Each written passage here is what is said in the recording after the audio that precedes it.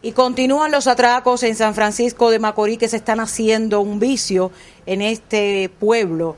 Llega hasta nuestra oficina redacción una macorizana para hacer su denuncia. ¿Usted se llama? Marixa.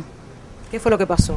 A las 1 y 30, frente a INAPA, iba para mi trabajo y dos elementos en un ceje negro venían de frente, me miraron, dieron la vuelta y salieron, me salieron al frente y el de atrás me, se apea de moto y me quita la cartera.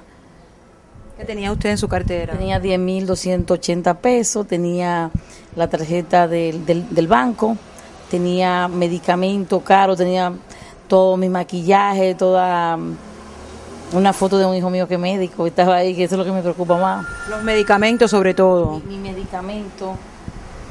Y unos lentes también. Unos lentes que me compré el, el viernes en Óptica Oviedo ahí. Y ni me lo llegué a estrenar.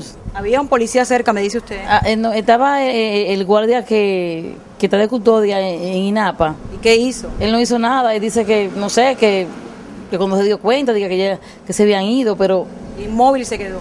sí. No, él salió para afuera, pero, pero no hizo nada, no, no, no, no.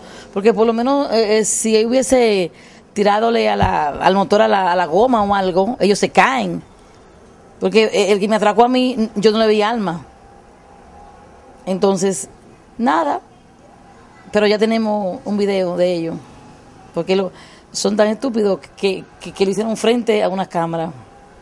¿Y qué espera usted ahora? Yo espero, el dinero, el dinero no me interesa para nada porque es obvio, eh, no va a aparecer, pero los medicamentos que son bien caros, lo- los maquillajes, la, la tarjeta de banco, Sus documentos importantes. documento, y mi cartera que bastante me costó, que me la tienen por ahí, mis lentes, que con eso que trabajo. Que por favor que, que, que lo tiren y que alguien lo lleve donde Alex, por favor.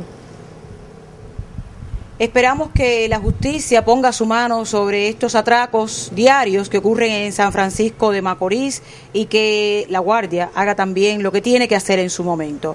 Ania Ortega para Sin Límites, el pulmón de la democracia.